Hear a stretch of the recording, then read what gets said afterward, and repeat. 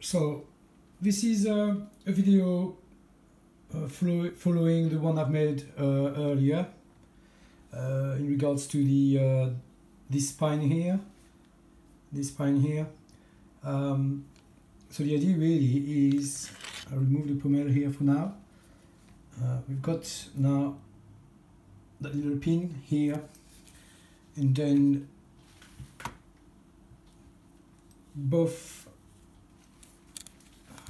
how do you want to end both this spine here and the pin here would then be connected together like this. And once it's done then we can slide the pommel back in. Like so. And then the sword will be finished course I need to uh, tidy this and I'm already done to uh, hold it together. And there you are. So nearly there. In there